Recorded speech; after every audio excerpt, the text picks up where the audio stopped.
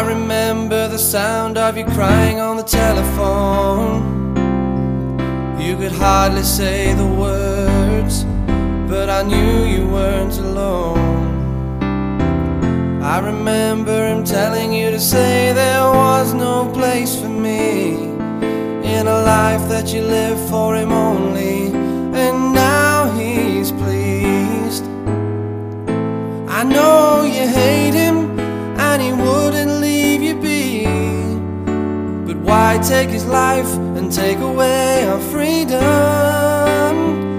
And now I live inside a bottle where Jack Daniels is a god. Only waking to eat my fill and juice to help me rot. If you just left the gun beside him